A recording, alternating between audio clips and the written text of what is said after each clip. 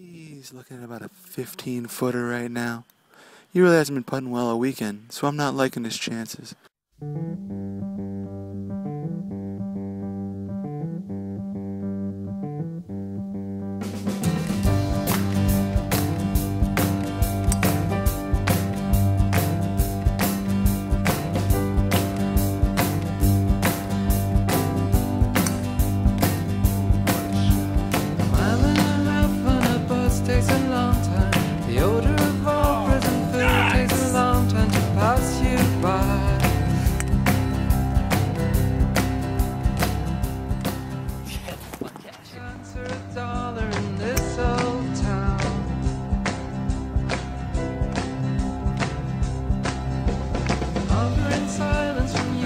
second away.